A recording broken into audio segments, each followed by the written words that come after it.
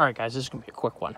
When I picked up this grapple from Kubota, presumably, and I don't know this for sure, I don't know if the dealer put the hydraulic lines on or if they came shipped that way from Kubota.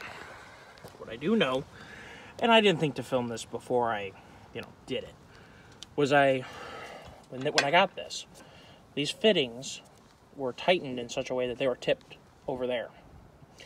So it encouraged the lines to try and hang out right by this junction right here.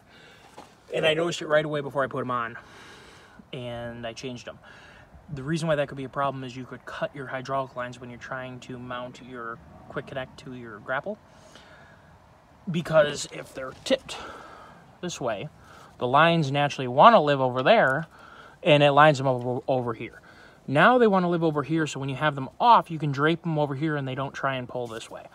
So all I'm recommending is on your hydraulic stuff, when you get new piece of equipment to you or whether they're new or not, is to check the line arrangement. And you can simply loosen up the fittings and, tip, and tilt them to the orientation you want and then tighten them. It doesn't hurt anything, doesn't change the way they seat. You'll be good to go. They're designed to do that. They're very precisely machined so that you can turn them and then you're still good to go. So I, re I really recommend doing that. Um, this happened on mine and it definitely would have caused a problem down the road. So recommend giving that a try. So short kind of recommendation video. If it helps you, if it helps just one person, it was worth making. Have a nice day, everyone.